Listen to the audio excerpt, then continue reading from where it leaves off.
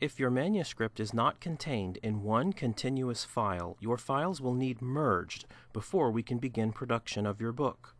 You can merge your files yourself, or you can have us do it for an additional fee.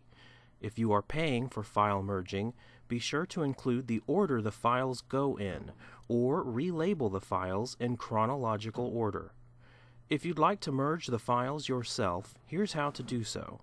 Open a new blank document and before you do anything with it, save it as a new file.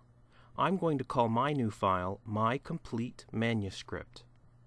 Now we're ready to merge our first file into our new document. Just go to Insert and File. In the window that pops up, locate the first file we need to merge. For my example, I have each chapter saved as an individual file, so the first file I need is Chapter 1. I select it and then I click Insert.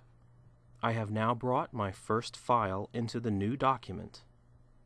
To merge the rest of your files, you just repeat the same step for each file. Make sure your text insertion marker is positioned at the end of the document, where you want each new file to be merged. In my example, our marker is already flashing there, so I'm ready to merge my second file. I'm just going to go to Insert and File, and then select my second file. While I'm at it, I'm going to go ahead and bring in my third file, and then we'll take a look at what we've done.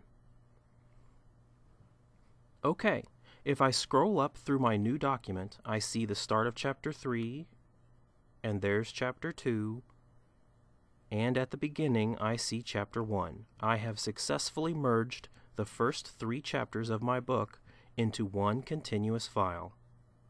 If I want my chapters to begin on new pages, all I need to do is position my cursor and click before the chapter title, and then go to Insert and Break.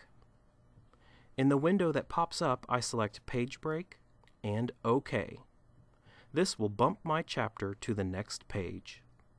If you have any questions about file merging, please don't hesitate to give us a call at 1 888 232 4444. We'll be happy to talk about it with you.